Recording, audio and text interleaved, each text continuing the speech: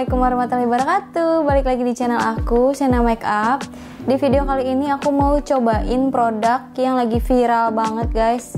Kenapa viral? Karena ini tuh foundation dengan harga di bawah 20.000 Percaya nggak? Ada foundation di bawah 20.000 Emang bisa? Terus bagus gitu. Ini dia produknya. Namanya itu OMG atau Oh My Glam Liquid Foundation. Nah dia itu foundation keluarannya OMG atau Oh My Glam. Ini udah BPOM ya guys. Kemarin itu aku beli di toko kosmetik dekat rumah. Harganya 17.000 tapi kalian kalau misalnya cari di Shopee itu masih banyak yang harga-harganya tuh di bawah 20.000 nah ini tuh tersedia 6 shades. Ada yang ivory yang aku pakai ini. Terus beige, light, natural, uh, sen sama satunya lagi karamel. Nah, untuk yang aku pakai ini shade yang paling terang di antara ke 6 shadesnya ya guys. Terus sebelum kita lanjut uh, review packagingnya, aku mau bacain dulu nih. Katanya udah SPF 20 PA++. Nah, lumayan lah. Walaupun kalian tetap harus pakai sunscreen lagi ya guys karena minimal itu 30 SPF 30 gitu. Terus di sini ada color advance tag. Itu aku nggak paham maksudnya apa. Terus ada oil control long lasting 8 hour sama medium to full coverage katanya. Dan ini tuh dalam satu kemasan ini tuh isinya 25 ml lumayan banget untuk harga 17.000 oke lanjut sekarang aku mau review packagingnya dulu untuk packagingnya sendiri itu kayak gini cuman dilapisin pakai plastik aja ya guys kita nggak dapet box karena ya udahlah kalian lihat aja harganya 17.000 gitu loh. Nih kita coba buka. Nah ternyata plastiknya itu emang cuman plastik doang ya guys. Jadi pas dibuka itu nggak ngeganggu sama sekali informasi produknya. Nah aku tuh suka yang kayak gini karena nggak bakalan ada informasi-informasi yang bakalan miss gitu. Tuh nih packagingnya ya. Dia itu packagingnya terbuat dari plastik. Dan botolnya ini bisa dipencet supaya gampang ngeluarin produknya gitu. Terus di sini labelnya itu uh, berdasarkan warna isi foundationnya. Kalau yang aku kan ivory nih warna labelnya itu agak keping-pingan gitu. Berarti isi foundation aku tuh kira-kira warnanya kurang lebih kayak gini guys. Kayak warna labelnya. Untuk uh, informasi produknya semua ada di sini. Terus udah BPOM juga ya guys jangan khawatir. Jadi buat yang mau pakai silahkan aja karena udah aman banget. Langsung aku mau coba buka aja isinya. Itu sebenarnya di sini kayak ada ininya loh apa segelnya gitu. Tuh. Untuk teksturnya sendiri teksturnya itu menurut aku nggak terlalu liquid liquid banget. Masih kayak agak kental dikit. Tapi juga nggak yang terlalu kental kayak creamy gitu. Terus wanginya tuh seger banget guys. Kayak bukan wangi foundation gitu kayak wangi apa ya? Seger banget pokoknya wanginya. Tuh. Kayak gini ya. Ini untuk yang warna ivory atau 13C kayak gini. Tuh tapi kalau pas di blend tuh kayak yang watery gitu emang gampang banget ngebaurnya tuh guys. Dan sekarang aku mau coba sekalian mau tes oxidize nya jadi aku mau swatch di tangan aku di sini. Sambil nanti nunggu aku coba tes di muka nanti kita lihat uh, aku swatch lagi bawahnya kira-kira dia ada oxidize nya atau enggak gitu. Ini aku mau coba swatch di sini ya guys. Nah tuh. Nih nih ini warna awalnya kayak gini ya. Terus sekarang aku mau lanjut pakaiin aja langsung ke muka ya. Kira-kira gimana dia? Di muka aku kayaknya sih bakalan keputihan ya. Cuman nggak tahu kalau misalnya dia ada oxidize-nya berarti cocok di muka aku. Atau kalau misalnya dia nggak oxidize ternyata berarti ini kayaknya keputihan gitu. Kita coba di salah satu muka aku aja ya salah satu sisi muka aku di bagian kanan sini nih. Ini tadi ada bekas jerawat. Mau coba aku blend. Dia tuh yang di sini tuh kayak udah ngeset gitu loh guys. Tuh. Jadi kayak susah ngambil produk yang di sini tadi cepet banget keringnya soalnya. Tuh. Warnanya tuh emang keputihan sih kayaknya di kulit aku. Mungkin harusnya aku pilihnya yang ini kemarin ya. Yang light atau yang beige. Kalau ini sih putih banget. Cuman kemarin pas aku swatch yang ininya yang set lainnya itu kayak lebih ke kuning gitu kuning banget. Jadi aku lebih suka yang lebih ke pink gini guys. Tapi ternyata putih banget di muka aku tuh.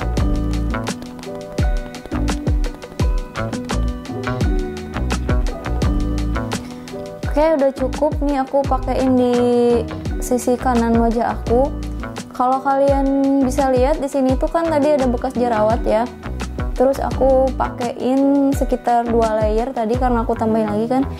Tapi masih nggak nutup ya guys. Jadi menurut aku ini coveragenya uh, light atau kayaknya kurang dari medium gitu. Karena bener-bener nggak nggak nutup tuh. Bener-bener jelas banget masih ininya. Nah untuk warnanya sendiri biasanya warna ivory itu cocok di kulit aku cuman untuk yang ini ivory-nya punya OMG ini kayaknya satu tingkat lebih terang nih guys. Karena foundation foundation aku yang lain itu biasanya aku pilihnya yang ivory memang dan itu cocok buat muka aku tapi untuk yang ini kayak putih banget gitu loh. Ini shade-nya lebih terang dari yang seharusnya ya.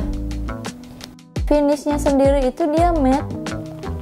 Kalau aku pegang gini tuh kayak udah langsung ngeset kering gitu.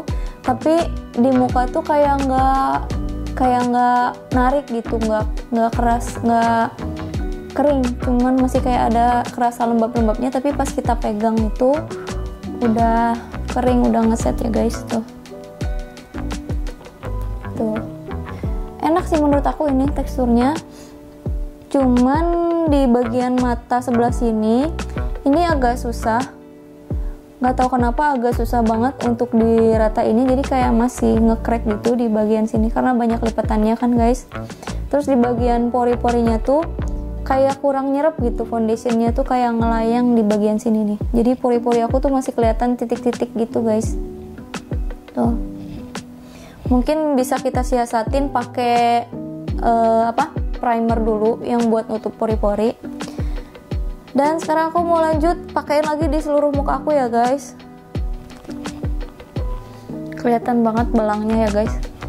Sama tangan yang udah beda banget warnanya. Gak nyangka seputih ini hasilnya.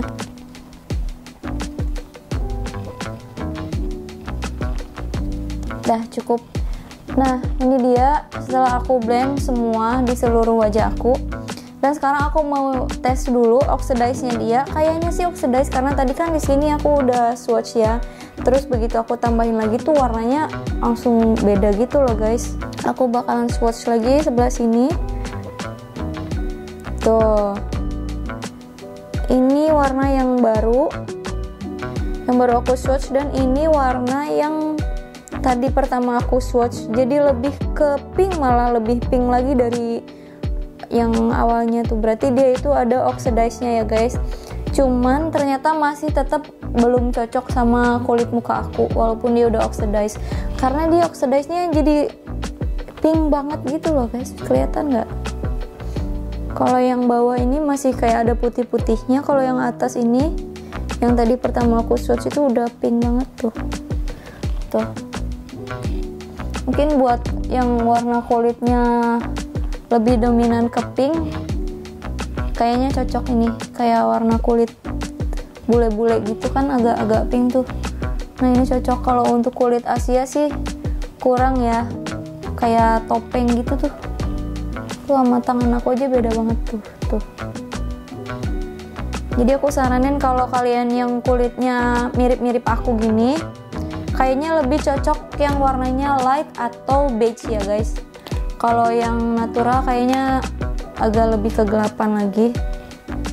Oke okay, ini finish finishnya setelah aku ratain.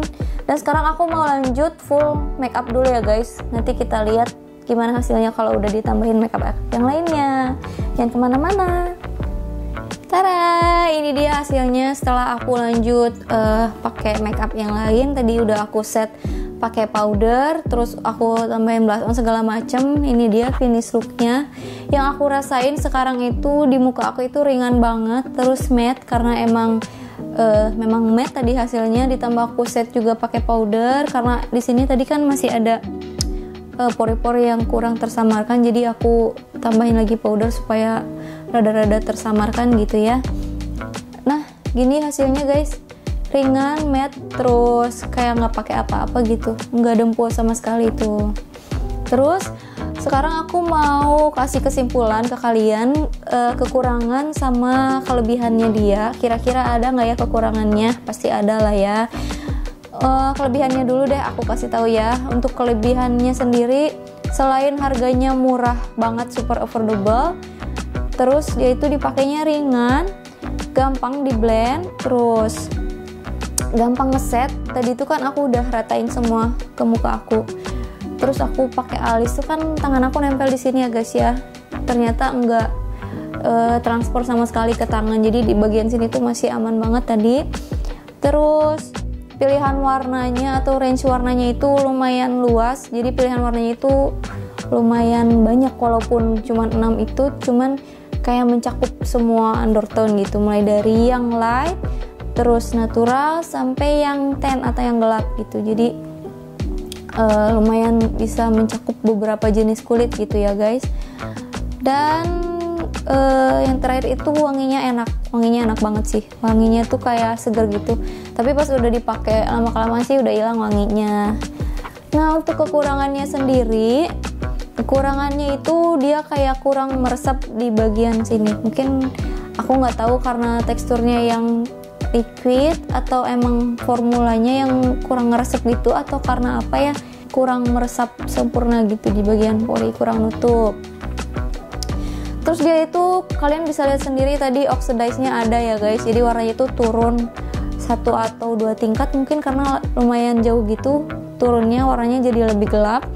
Terus dia gampang ngekrek di bagian sini nih bagian lipatan-lipatan kerutan-kerutan tuh dia gampang ngekrek guys. Jadi kalian mesti set benar-benar mungkin ya. Dan yang terakhir itu coveragenya. Menurut aku coveragenya itu nggak sesuai sama klaimnya. Katanya dia itu medium to full cuman menurut aku ini benar-benar kayak kurang kurang banget gitu coveragenya. Ini masih kelihatan jelas banget kalau di kaca atau ya kalau di kamera ya Oke okay guys, segitu dulu video review dari aku. Semoga bermanfaat buat kalian, buat kalian yang belum subscribe. Silahkan klik tombol subscribe-nya dulu, like, comment, dan share video aku ke teman-teman kalian supaya aku lebih semangat bikin videonya. Thank you so much for watching and see you on my next video. Bye-bye.